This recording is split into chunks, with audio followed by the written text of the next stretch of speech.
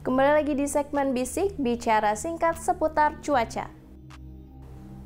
Berdasarkan perakiran cuaca berbasis dampak hujan lebat di Indonesia, wilayah yang berpotensi terjadi bencana hidrometeorologi seperti banjir, banjir bandang, dan tanah longsor dengan status siaga yang berlaku pada tanggal 28 Oktober 2022 antara lain Aceh, Sumatera Utara, Bengkulu, dan Kalimantan Barat, Kemudian untuk esok hari tanggal 29 Oktober 2022 berpotensi terjadi di wilayah Aceh, Sumatera Utara, Bengkulu, dan Kalimantan Barat. Dan yang terakhir untuk tanggal 30 Oktober 2022 berpotensi terjadi di wilayah Aceh, Sumatera Utara, dan Bengkulu.